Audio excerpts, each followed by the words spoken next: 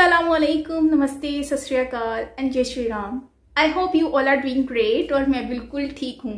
सो so, आज मैं आप लोगों के लिए एक वीडियो लेकर आई हूँ और इस वीडियो का टाइटल है major Gaurav Arya explains nonsense of current situation in Pakistan so इस इस वीडियो पे आज हम लोग रिएक्शन देंगे और देखते हैं कि ये वीडियो कैसी होने वाली है और फिर उसके बाद हम इस पर डिस्कस करेंगे। सो so, बिना देरी के चलते इस वीडियो की तरफ़ और रिएक्शन देते हैं सो लेट्स स्टार्ट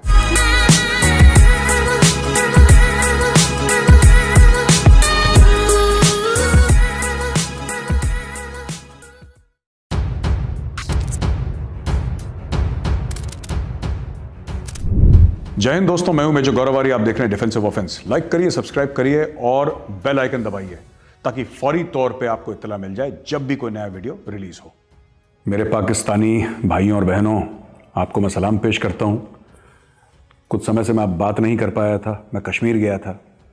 वही कश्मीर जहाँ पे आप कभी नहीं जा पाएँगे। कश्मीर बनेगा पाकिस्तान। कश्मीरियों से नाता क्या, ला इलाहा ला याद है ना, वही वाला कश्मीर? उधर गया था मैं। सात आठ दिन बिता कर आया, बड़ी बर्फ़ है, ठंड है वहाँ पे। बहरहाल। देखिए, चेहरा भी बिल्कुल जला हुआ है सनबर्न कहते हैं इसको। दो तीन बातें थी पाकिस्तान के बारे में जो आपके साथ मैं डिस्कस करना चाह रहा था। पहले तो कोरोना वैक्सीन। तो इंडिया में तो उसका रोल आउट शुरू हो गया मैन्युफैक्चरिंग पहले शुरू हो गई थी। वैक्सीनेशन लग रहे हैं रोज़ लोगों की कतारें बढ़ रही हैं। वैक्सीनेशन हो रहा है लोगों का। इसके अलावा कई ऐसे भी मुल्क हैं, जैसे कि मालदीव्स है, श्रीलंका है, नेपाल है, भूटान है, और जो दीगर मुल्क हैं हमारे आसपास वाले, जो हमारे हमसाए हैं, उनको तो हमने इमदाद के तौर पे दे दिया है। इसके अलावा ब्राज़ील को, सऊदी अरब को और कंट्रीज़ को जो मुल्क हैं उनको हम बेच रहे हैं। तो मालदीव सऊदी अरेबिया दोनों आपके बिरादर इस्लामी मुल्क हैं। तो यहाँ पे जो काफिर हैं वो मोमिन की जान बचा रहे हैं। तो आपको पता होना चाहिए। आ, पाकिस्तान में तो खतरा भी नहीं है इसका वैक्सीन का। और आप लोगों ने वैसे भी अभी वहाँ पर बड़ी मौलाना हजरात जो हैं वो आपस में बहस कर रहे हैं कि ये हराम है कि हलाल है। और जो इस्लाम का गढ़ है सऊदी अरेबिया उसने बोल दिया साहब हलाल और हराम हर चीज़ में नहीं डाली है इसको ये कीड़े हर जगह नहीं डालने चाहिए। साफ़ सीधी बात है, अगर हमारे लोगों के लिए ठीक है तो हमारे लिए ठीक है। इंडिया बेच रहा है ये वैक्सीन। इमरान खान ने तो मना कर दिया आपको। इमरान खान ने साफ़ मना कर दिया। कह रहा साहब, हम इस लायक नहीं हैं कि हम वैक्सीन लाएँ, और हमने पहले से प्लान ही नहीं करा था। अब बात आ रही है धीरे धीरे आपकी मीडिया से बात आ रही है कि 10 से लेकर 12 बारह जो हैं, लाख वैक्सीन्स हो सकता है। ये 10 से 12 लाख वैक्सीन्स किसके पास आएँगी? आपकी फ़ौज के पास जाएँगी। जो वडेरे हैं, ज़मींदार हैं, उनके पास जाएँगी। जो आपके बड़े बड़े बिज़नेस ब्यूरोक्रेट्स हैं, उनके बच्चों के पास जाएँगे, जो आम पाकिस्तानी है, वो तो गया। वो पहले भी गया था। कभी चीनी का बहरान कभी घी का बहरान कभी गोश्त का, कभी दूध का, कभी गंदम का। लेकिन अब करोना से भी गया वो। तो ये ये गिफ्ट है इमरान खान की आपके लिए। जहाँ तक करोना की वैक्सीन है, इसको डिप्लोमेसी भी कहते हैं। इंडिया डिप्लोमेसी कर रहा है और इसमें चाइना हार गया। क्योंकि दुनिया को पता है कि भाई ये वायरस निकला तो था वुहान से। तो दर्द दिया चाइना ने और दवा दी हिंदुस्तान ने। यह बात ज़रूर ध्यान रखिएगा। और हर समय जुल्म करने से जो मरहम लगाता है, वो हर समय बड़ा रहता है। तो इसमें हिंदुस्तान तो चीन से आगे चला गया। चीन वही आपके अब्बू चीन, जिससे आप उम्मीद रखते हैं ना, आप वैक्सीन की भी उम्मीद चीन से कि चीन आएगा और चीन आपको मुफ़्त में देगा। तो ये कुछ बातें हैं जो मैं सोच रहा था आपको बता दूँ। और आपके मुल्क में खैर अभी भी बड़े सीनियर पॉलिटिशियंस, जिनके बच्चे बाहर जाके लगवा लेते हैं। इंडियन एम्बेसी को फ़ोन आए हैं भाई, पाकिस्तान में जो इंडियन एम्बेसी है, जो हाई कमीशन है, माफ़ कीजिएगा। हाई कमीशन को फ़ोन आ रहे हैं कि यार कुछ जुगाड़ वुगाड़ हो सकता है कि कुछ हो सकता है कि हमारे बच्चों को, हमारे परिवार को, हमारे ख़ानदान को वैक्सीन लग जाए। इंडिया यानी कि दुश्मन मुल्क, आप ही कहते हैं ना दुश्मन मुल्क दुश्मन मुल्क से बातें हो रही हैं रिक्वेस्ट हो रही है कि वैक्सीन हमारे लग जाए। बाकी लोग मरे तो मरे। बाईस करोड़ के मुल्क में दस लाख की वैक्सीन अब आप सोच लीजिए, कितने लोग मरहूम रह जाएँगे इस वैक्सीन से और कितने लोगों की जानें जाएँगी? क्योंकि इमरान खान हैंडसम है आफ्टर ऑल और कश्मीर बनेगा पाकिस्तान। यही चाहते हैं ना आप कश्मीर बनेगा पाकिस्तान, फिर रोइएगा मत इन सब चीज़ों को लेकर कि वैक्सीन नहीं आई और ये नहीं आया, वो नहीं आया। कश्मीर के लिए लड़िए आप। हमारे भी मफाद में यही है कि पाकिस्तानी जितने भी हैं, नस्ल दर नस्ल सिर्फ़ और सिर्फ़ एक काम करें कि कश्मीर बनेगा पाकिस्तान का नारा बुलंद करते रहें। ये हमारे लिए भी अच्छा है, क्योंकि जितना कश्मीर कश्मीर करेंगे, उतना आपका मुल्क और दलदल में धंसेगा। क्योंकि आपने मीशत को नहीं देखा, आपने फॉरेन पॉलिसी को नहीं देखा। हर जगह जलील और रसवा होते हैं। क्यों? क्योंकि आपको बताया गया कि जब तक कश्मीर का मुद्दा ज़िंदा है, तब तक सब ठीक है। तो अब लगे रहिए, हमें कोई फ़र्क नहीं पड़ता इससे। चौदह मिलियन डॉलर, चौदह मिलियन डॉलर आपको चाहिए, जो आपको मलेशिया की कंपनी को देने हैं। तैयारा आपका जो पकड़ लिया ना उन्होंने, एक जहाज़, वहाँ पे पीआईए का, वो पकड़ लिया, आपने पैसे नहीं दिए उसके। अब एक बात बताइए, मलेशिया तो इस्लामिक बिरादरी मुल्क है आपका ओआईसी का मेंबर है, वही मलेशिया, जिसके साथ मिलकर आप एक टीवी चैनल खोलना चाह रहे थे। इस्लामिक टीवी चैनल जो इस्लामोफोबिया से लड़ता, वही मलेशिया, जिसके साथ आप एक ब्लॉक बनाना चाह रहे थे, जो कि कश्मीर की बात बुलंद करता, वही मलेशिया, जिसके साथ आप रेलवे लाइन खोलना चाह रहे थे। और कह रहे थे कि इंडिया क्यों नहीं ज्वाइन कर रहा क्या हुआ? चौदह मिलियन डॉलर के लिए मलेशिया ने आपका जहाज़ रखवा लिया वहाँ पे। अब क्या हुआ कि जो पैसेंजर थे इसके, सौ से ऊपर पैसेंजर थे पाकिस्तानी उनको ठंडे फर्श पे मलेशिया के एयरपोर्ट पे सुलाया गया। ठंडे फर्श। अब कौन मोमिन दूसरे मोमिन के साथ ऐसा करता है बताइए। कुरान शरीफ में ऐसा तो नहीं लिखा। बोला कि साहब, आपको मोमिन का साथ देना है, हर सुख दुख में। तो ये तो मलेशिया का किरदार है है ना? अगर आप तुर्की को देखें तो आपको उसने दिखाई अर्दुगल गाजी, आप लोग खुश हो गए कि यही इस्लामिक हिस्ट्री है, और वहाँ पे जाके उसने अपना एम्बेसडर भेज दिया इसराइल को। सो सब आपकी जेब काटते हैं, आपकी जेब में है नहीं कुछ वैसे, लेकिन फिर भी सब आपको बेवकूफ़ बनाते हैं। अब वापस ज़रा तैयारे के मामले में आते हैं। तो यहाँ पे दो तीन दिन वो बेचारे पाकिस्तानी पैसेंजर्स जो थे, वो फर्श पे सो रहे थे। कोई पूछने वाला नहीं, ना खाने की सुदबुद ना कहीं सोने की, ना आराम की। उसमें बुज़ुर्ग भी थे, बच्चे भी थे। और एक बार एक बार भी जो आपका एम्बेसी है कोलालमपुर में, एक बार नहीं गया पूछने कि तुम ज़िंदा हो कि मर गए? कहते हैं ना, रियासत माँ होती है। ये कैसी माँ है भाई? ये सौतेली माँ है। ये ये असली वाली माँ नहीं है, ये सौतेली माँ है। जो पाकिस्तानी रियासत है, वो सौतेली माँ है और सौतेली माँ जैसा ही बर्ताव करती है। तो कोई पूछने वूछने नहीं गया वहाँ पर अब आपको पैसे देने पड़ेंगे, तब जाकर तैयारा छूटेगा। फिर कॉन्स्परेसी थ्योरीज के यहूदियों ने कुछ कह दिया होगा, ये हिंदुओं ने कुछ कर दिया होगा इंडियन कंपनी है, इसकी कंपनी भाई तुम पैसा नहीं दोगे तो जो मुसलमान होगा वो भी रखवा लेगा तुम्हारा जहाज़। तो कॉन्स्परेसी थ्योरीज करते रहो, किसी को कोई फ़र्क नहीं पड़ता। अच्छा उनतीस मिलियन तो ब्रॉडशीट को देने हैं। इसमें मुशर्रफ भी शामिल है, पीठ पीछे से किसका पैसा खाने वो बाद में आएँगे, हम डिटेल में आपको समझाएँगे। ब्रॉडशीट की कहानी है। ये कैसा मुल्क है? एटमी सुपर पावर हमारे पास पाओ पाओ आधे आधे किलो, एक एक किलो के बम हैं। शेख रशीद कहता था ना, इतने बम हैं। आप लोग के पास चौदह मिलियन डॉलर नहीं अपना तैयारा छुड़वाने के लिए? या ब्रॉडशीट को पैसे देने के लिए? वो कुड़की की नैच पे आके खड़ा हो गया ब्रॉडशीट खैर, उस पर बाद में बात करेंगे। पर सबसे पहले सिक्स बिलियन डॉलर्स छः अरब डॉलर जो आपको रेकोडिक को देने ज़रा उसका भी जुगाड़ कर लीजिए। चीनी तो आपको पैसा देंगे नहीं। और अगर चीनी आपको पैसा देते हैं तो नली, पुट, गुर्दा, कलेजी, मगज़, सब गिरवी रखवा लेंगे चीनी। है ना? बहुत शौक है ना गोश्त खाने का। चीनियों को भी बहुत शौक है। शाइलॉक के बारे में कहा गया है। शेक्सपियर का शाइलॉक जब पढ़िएगा। शाइलॉक का क्या किरदार था? वही चीनी है और वही कर रहे हैं आपके साथ। एक दुनिया की नई ईस्ट इंडिया कंपनी बन गई है चाइना, और आप फंस गए हैं उसके चुंगल में। अब दोस्तों शाहीन थ्री का टेस्ट बहुत बहादुर पाक फौज ने करा। वो कहाँ पे गिरा?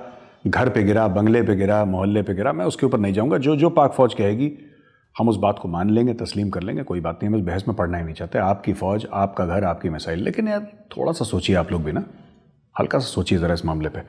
शाहीन थ्री बनाने के पैसे हैं आपके पास। लेकिन आपके पास पीआईए का तैयारा छुड़वाने के लिए पैसे नहीं हैं। शाहीन थ्री बनाने के पैसे हैं आपके पास, लेकिन ब्रॉडशीट को पैसा देना आप गंवारा नहीं समझते। चाहे फिर जो लंदन में आपका हाई कमीशन है, उसका बैंक अकाउंट फ्रीज कर दे वहाँ की कोर्ट्स पूरी कौम जलील खार आपने सुना है कभी? किसी मुल्क के एम्बेसी का बैंक अकाउंट फ्रीज कर दे क्योंकि वो पैसा नहीं दे पाए। आपने सुना है कभी? ये आपके साथ हुआ है। कोई बात नहीं। शाहीन थ्री बनाने का पैसा है आपके पास, लेकिन जो रिकोडेक को पैसा देना है, छह अरब डॉलर वो आप नहीं दे सकते। हो सबसे बड़ी बात शाहीन थ्री बनाने का पैसा है आपके पास। लेकिन वैक्सीन के लिए पैसा नहीं है। वैक्सीन के लिए पैसा नहीं है। पाकिस्तानी आवाम जो गरीब है, वो मर जाए, कल मरती, आज मरे। आज मरती, अभी मरे। इमरान खान को फ़र्क नहीं पड़ता, बाजवा को फ़र्क नहीं पड़ता।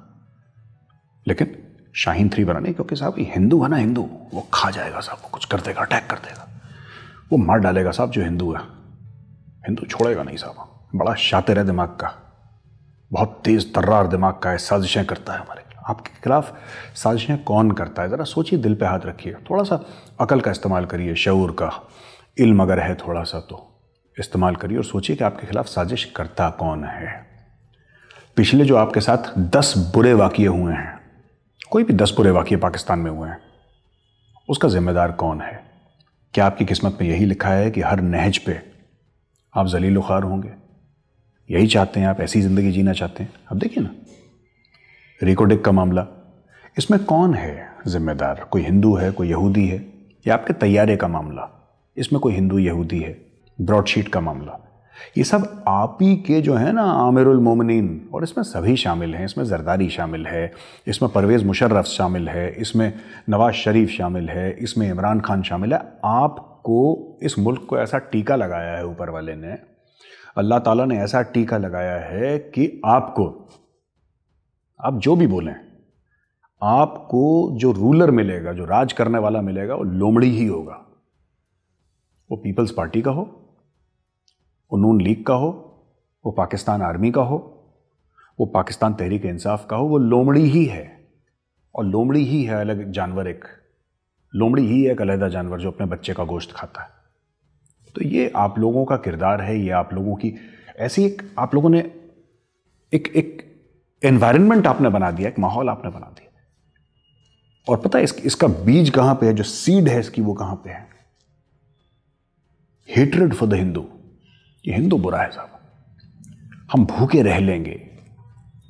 हमारी जेबें कट जाएँ, हमारे बच्चों को खालिश दूध ना मिले, हमारे बच्चों को दवाई ना मिले, हमारे बूढ़े माँ बाप को खाना ना मिले, लेकिन हिंदू हमें खा जाएगा साहब, हमें हिंदू से लड़ना। लड़िए हिंदू से। तो दोस्तों, अब ब्रॉडशीट पे आते हैं वापस।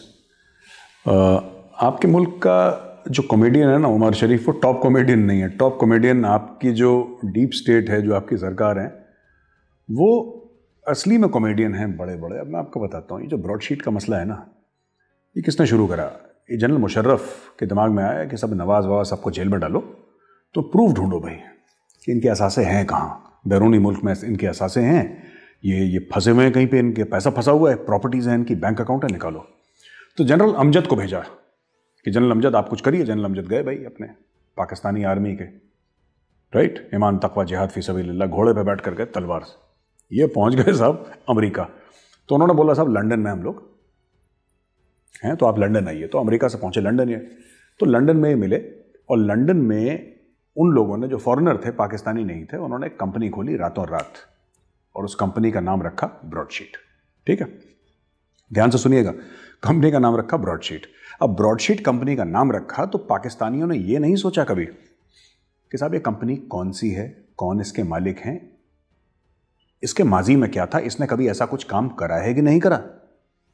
ये कंपनी कितनी सॉलिड है, इसके इन्वेस्टर को कुछ पता नहीं लगा, बस अपनी सेटिंग वेटिंग करी राइट और इन्होंने जाके जनरल अमजद ने जनरल मुशर्रफ को बोल दिया कि, सर, ऐसा है कि ये आपका कट है, इतने पैसे आप रखिए, इतने पैसे हमारे, कहानी खत्म, अब ये अपना काम करेंगे। जनरल मुशर्रफ खुश हो गया उसने जेब में अपने पैसे डाले, कहानी खत्म। अब हुआ ये कि ये जो कंपनी थी ब्रॉडशीट अब इसने खोदना शुरू कर दिया। ठीक है प्रोफेशनल तो थे इन्होंने खोदना शुरू करा। खोदते खोदते खोदते खोदते। इनको जरदारी और नवाज़ शरीफ के खिलाफ तो कुछ नहीं मिला, लेकिन इनके चंगुल में फंस गए दो पाकिस्तानी नेवी के चीफ, कुछ वडेरे, कुछ जमींदार, कुछ पॉलिटिशियंस और एंड में फंसे कुछ सीनियर पाकिस्तानी फौज के अफसर जनरल्स फंसे। जब जनरल्स फंसे तो सब मुशर्रफ को डर लगा। तो यहाँ से इस्लामाबाद से हुक्म गया कि साहब, बंद करो ये इन्वेस्टिगेशन अपना बंद करो। अच्छा बात ये इनकी हुई थी कि जो भी असासे पकड़े जाएँगे, जो ब्रॉडशीट पकड़वाएगा, उसका 20 फ़ीसद, यानी 20 प्रतिशत, ट्वेंटी परसेंट, वो ब्रॉडशीट को देगी पाकिस्तानी सरकार। अब यहाँ पे तो इन्वेस्टिगेशन ही बंद हो गया। खैर, उस कंपनी का बुरा हाल हो गया और कंपनी का बुरा हाल होने के बाद ये हुआ कि अब कंपनी बंद होती है खुली। अब वो जो मालिक थे, वो बोलने लगे। बड़बड़ करने लगे। तो उनका मुँह बंद कराने के लिए पाकिस्तानियों ने वन मिलियन डॉलर्स, यानी कि दस लाख डॉलर इन्होंने जाके उसके मालिक को दे दी तुम भैया अपना मुँह बंद करो। अच्छा वन मिलियन डॉलर्स तो उसको दे दिया उसने अपना मुँह बंद कर लिया, चुपचाप कोने में बैठ गया। लेकिन बीच में एक और फसाद की जड़ आ गई। मुसावी नाम का एक ईरानियन मोमिन, वो जेल में था उस वक्त, और वो भी इस कंपनी में पार्टनर था। उसने बोला तो क्या हुआ अगर कंपनी बैंक हो गई? तो क्या हुआ अगर कंपनी लिटिगेशन में चली गई? इन्वेस्टमेंट तो मेरा भी है इन्वेस्टर तो मैं भी हूँ, मालिक तो मैं भी हूँ। तो मुझे भी पैसा मिलना चाहिए। जब पाकिस्तानियों से बात करी तो पाकिस्तानी ने मना कर दिया। इसने, यानी कि मुसावी ने, जो ब्रॉडशीट का एक मालिक था, उसने लंदन में पाकिस्तानियों के खिलाफ केस कर दिया। अब जब जज ने सारे कागज़ पढ़े तो यह पता लगा कि पाकिस्तानियों ने जो वन मिलियन डॉलर दिए थे, वो गलत कंपनी को दे दिए थे। मेरी हँसी नहीं रुक रही, माफ़ी चाहता हूँ। पाकिस्तानियों को यह नहीं पता था कि किस कंपनी को पैसा देना, उन्होंने गलत कंपनी को पैसा दे दिया। और हो ना हो किसी जनरल ने, जनरल अमजद ने दे दिला के उससे भी कट ले लिया होगा। वन मिलियन डॉलर्स लेके बोला होगा, यार, थोड़ा सा फिफ्टी परसेंट मुझे दे दो। इन्होंने गलत अब वो कह रहा है कि मुझे भी पैसा चाहिए। अब पाकिस्तानी फंसे हुए हैं। ये मैंने, जिसको हिंदी में कहता ना, संक्षिप्त में शॉर्ट में बिल्कुल, एक बिल्कुल इसका क्रक्स मैंने आपको कहानी का सुनाया और जब मुझे पता लगा इस कहानी का, तब मुझे बहुत हँसी आई कि एक पूरी कौम को, एक पूरे मुल्क को, आपका जो नैब है, नैब को यह नहीं पता कि कौन सी कंपनी है, किसको हम पैसा दे रहे हैं। उन्होंने पैसा दे दिया उस कंपनी को। ब्रॉडशीट, एक नकली ब्रॉडशीट को पैसा दे दिया और असली वाला कह रहा है कि साहब, मैं तो बैठा हूँ यहाँ पे। वो मुसावी जेल में था। वो जेल से निकला, तब उसको लगा कि यहाँ पे तो पार्टी चल रही है मेरे पीछे। लोग यहाँ पे धमाल डाल रहे हैं। मेरा पैसा मारा गया जब उसने केस कर दिया कोर्ट में जाके। अब पाकिस्तानी सरकार फंस गई। तो ये किरदार है आपकी पूरी फौज का, आपके नैब का, आपके डीप स्टेट का, आपकी सरकार का, इमरान खान का दिमाग से पैदल लोग हैं। ये दिमाग से पैदल लोग हैं, इनका बस यही है कि इंडिया में ये कर दो, अब किसी तरीके से इंडिया में ये फसाद। आप ये देखिए कि किस तरीके से बिल्कुल जैसे कि शराब पीते हुए कोई 120 की रफ्तार से कार चला रहा हो। सुनिएगा ध्यान से, शराब पीकर, शराब के नशे में धुत होकर 120 की रफ्तार से कोई गाड़ी चला रहा है और गाड़ी का स्टीयरिंग छोड़ के अपने फ़ोन पे मैसेज कर रहा है। यह हाल है पाकिस्तान का। कभी भी गाड़ी आपकी क्रैश हो सकती है। और फिर आप ये नहीं कह सकते कि हिंदू की साजिश थी, यहूदी की साजिश थी।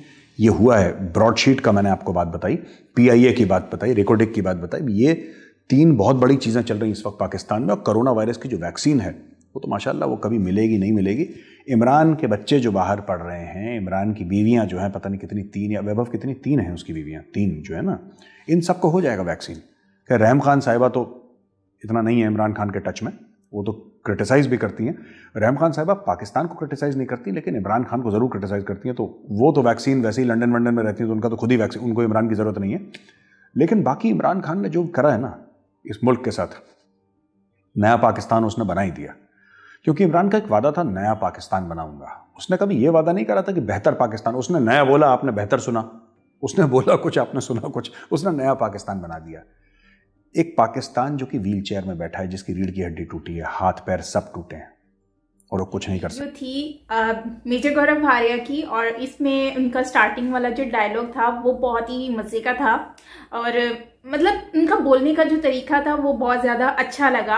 आ, उन्होंने कहा कि वही कश्मीर जहाँ पर आप लोग कभी जा नहीं पाएँगे। तो ये वाला जो डायलॉग था ये मतलब डायलॉग लाइन थी मुझे बहुत मतलब सुनकर अच्छा लग रहा था। लाइक इस तरह से वो तफरी करके तंज करके बात भी कर रहे थे और सबको समझा भी रहे थे। Anyways come to the point और बात करते हैं वीडियो की।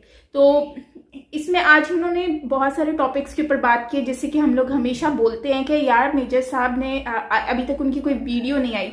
तो बीच में राहुल गांधी की के ऊपर एक वीडियो आई थी जो कि कश्मीर से आई थी। तो उसके बाद फिर पता चला कि वो कश्मीर में है। तो कमेंट में लोगों ने भी बताया था कि वो घूमने गए हैं वहाँ पर।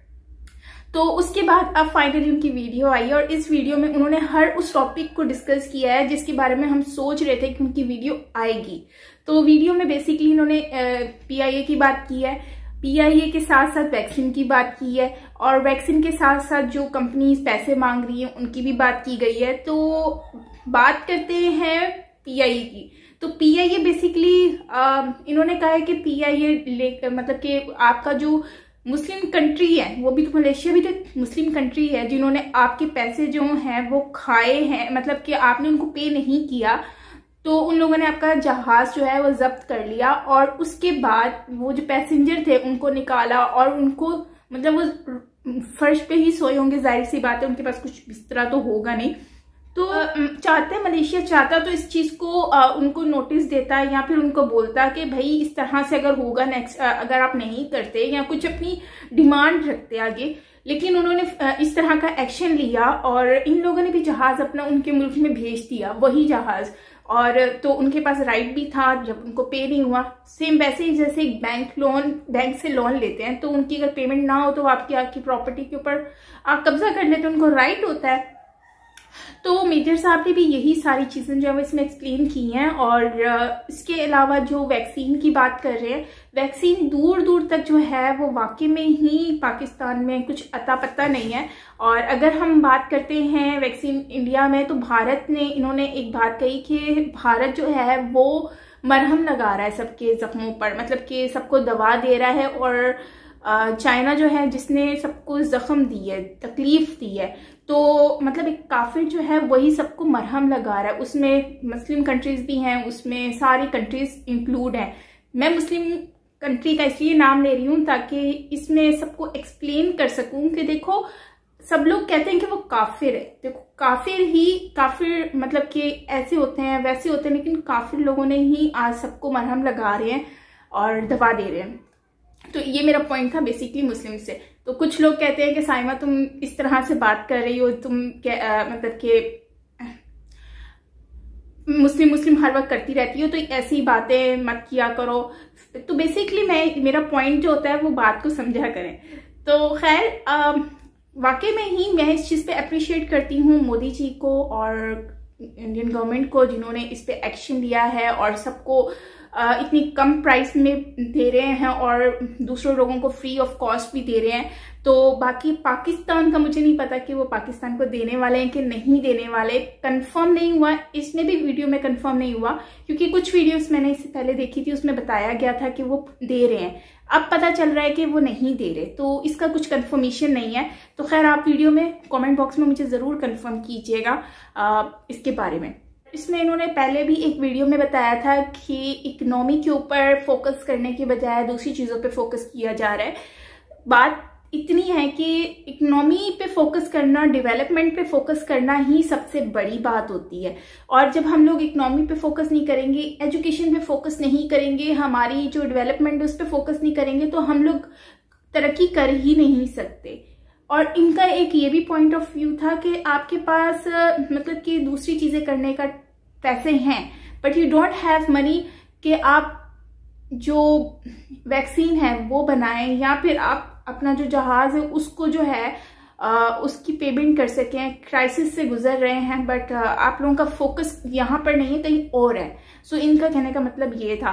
तो बात सही कह रहे हैं कि फोकस जो है वो इस पे डेवलपमेंट पर नहीं है, इन सारी चीज़ों पर नहीं है। वैक्सीन जैसे कि रेहाम खान के बारे में बोल रहे हैं कि उनकी जो, वो तो टच में नहीं है। खैर, उनकी फैमिली जो है वो सारी आउट ऑफ़ कंट्री है तो उनको वैक्सीन वगैरह अगर मिल भी जाती है तो उनको तो वैसे भी मिल रही है क्योंकि वो आउट ऑफ़ कंट्री है।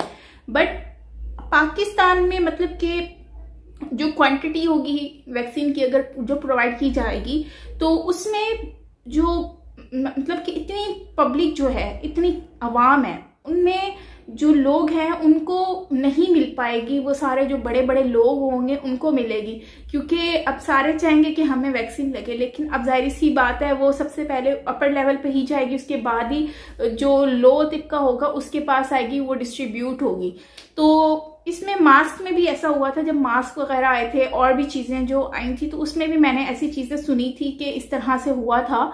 तो खैर, अब ऊपर वाले के हाथ में है, जो भी हो तो देखते हैं कि आगे क्या होता है पार्ट टू में और उस पर हम डिस्कस करेंगे और भी बहुत सारी चीज़ों पर और वैसे एक बात है कि ये जो पीआईए का जहाज़ है, इसके बाद काफ़ी चीज़ें, काफ़ी लोगों ने मज़ाक भी बनाया था, काफ़ी सुनने को भी मिली थी। मुझे इवन तो इतने कमेंट्स आ रहे थे, लोग बोल रहे थे कि, यार देखो तुम्हारा पाकिस्तान का जहाज़ जो है वो जा चला गया, जब्त हो गया।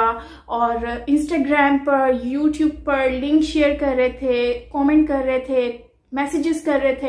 तो मतलब मैं खुद सोच रही थी कि यार ये हो क्या रहा है? समटाइम मुझे हँसी भी आ रही थी कि यार क्या हालत हो गई। और समटाइम मुझे अफसोस भी हो रहा था कि हम इस कंट्री में कंट्री के लिए हम कुछ कर नहीं सकते बिकॉज़ हमारे पास इतना कुछ ऐसा कुछ है ही नहीं रास्ता कि हम उस पर कुछ कर सकें। ये सारा गवर्नमेंट के हाथ में गवर्नमेंट ही कुछ कर सकती है। खैर पार्ट टू में हम बात करेंगे देखेंगे कि क्या चीज़ें जो है वो और डिस्कस की गई हैं और फिर उस पर हम लोग डिस्कस करेंगे। सो so, उसके लिए अगर आप पार्ट टू चाहते हैं तो प्लीज़ कमेंट कीजिएगा और अपनी जो राय है वो ज़रूर दीजिएगा। और मिलते हैं नेक्स्ट वीडियो के साथ। अपना बहुत सारा ख्याल रखिएगा और न्यू है तो प्लीज़ तो चैनल को सब्सक्राइब ज़रूर कीजिएगा और बहुत सारा प्यार। बाय